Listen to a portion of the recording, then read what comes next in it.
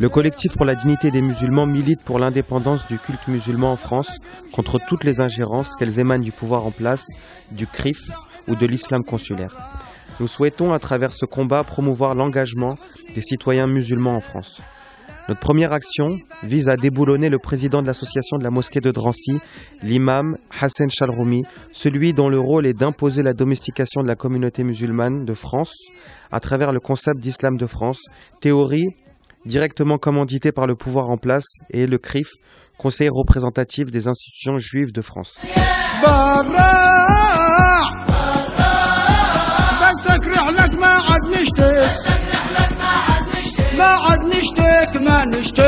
Cette action citoyenne vise à dévoiler l'instrumentalisation et le dévoiement de la laïcité par le président sortant et bientôt sorti Nicolas Sarkozy et le député maire de la ville de Drancy, Jean-Christophe Lagarde, centriste de droite, et celui qui a aussi placé Charles Romy, qui l'appuie et le défend dans la ville de Drancy, dans le déni le plus total de la laïcité.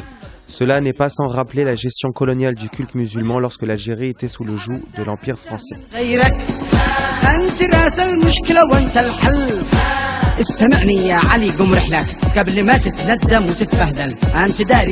Nous n'accepterons jamais cet état de fait et nous lutterons contre cet état d'esprit colonial encore présent en 2012.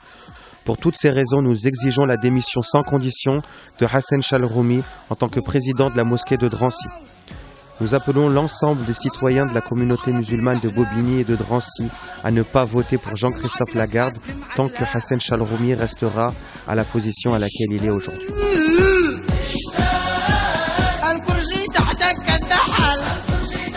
Il est quoi, euh, Chalroumi Tunisien? Ah. Ça arrive, hein?